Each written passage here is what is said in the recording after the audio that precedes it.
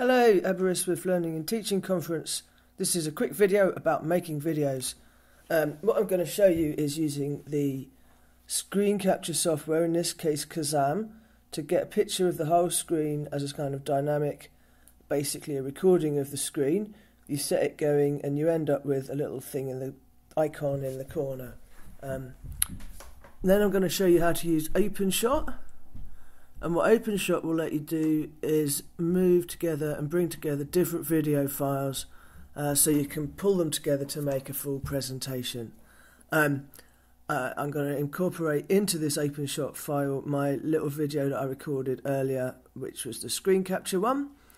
And then I'm going to take that and bring it down from the main window to the timeline, which is at the bottom of the window, and that's the start of video editing. That's how it all fits together. Um, I'm also going to show you how to include a title in this video, um, which is going to involve just creating a new title and then telling it, saving it as a title file, and then deciding what the text has to be within that video title. Um, once you've got the title and you've got the videos, you can put them on the timeline, and it all works out perfectly. Um, you might find once you play it um, that the title shows for too long, or you might find that there's something you want to change about the settings. Um, one of the things you need to do when you're doing this quite a bit is take a look at the video and work out what you need to change.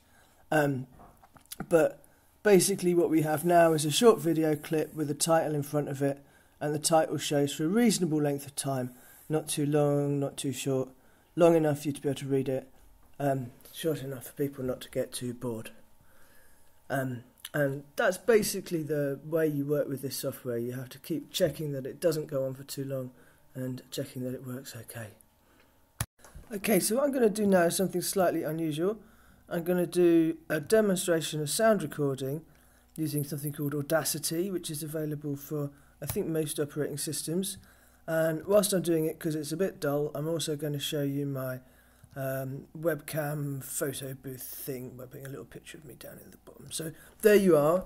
I'm actually recording the audio for this using um, screen capture software, not Audacity. Um, but that's okay.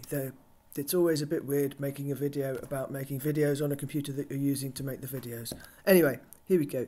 Um, Audacity is really straightforward. You press record and you immediately see that there's some level stuff up here which tells you what's going on, and you get a visual representation of both channels of the sound going on as you speak. And those are really good indications that your microphone's working and so on. You can do loads of stuff with Audacity, but all I'm going to show you now is capturing, and I've done that. So we've got something there, and I press stop, finish the file, and then we'll do file, export, and I'm going to put it as an MP3 file, and I'm going to put it in my videos folder and I'm going to call it auconf short.mp3 uh, uh, okay uh, save. Um, no need for any of that. Job done.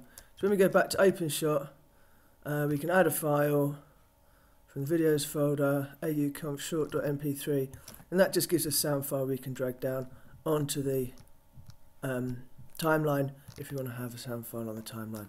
And that's that really. Okay. So now I'm capturing the last bit of this video. I'll give you the little window again. Um, and the aim of this last section, I didn't mean to do that, is to let you see the kind of pulling it all together aspects. So what we've got here is we've got the video um, start start picture, which is the opening credits. Then we've got a little bit about screencast. Then we've got um, an MP3 which I've recorded, which is a kind of commentary on the first bits. So we've got a commentary for this bit, so we don't actually need the sound on these bits. Um, we go along, and here there's another um, OpenShot introduction. Um, we haven't got the sound turned on on that one. In fact, I can zoom out a bit. If you zoom out, you can see the whole timeline um, quite clearly here. Uh, this bit here is the bit on um, doing the audio, and that does actually need the sound, so we can turn the sound on for that. And now I just need to add this particular little bit of video that I'm doing now, which also has sound on it. So um, I will add it and then I will export it and the export looks like this export video export to wherever you like I do web I go um, YouTube HD high quality and those are my standard settings here. But basically it doesn't most video codecs are okay and if you look for a video codec that's optimized for YouTube then you'll probably be fine. And if I had included this video I'd just click export video and we'd be ready to go. But I haven't included this video yet so I'm going to stop this screencast include this video and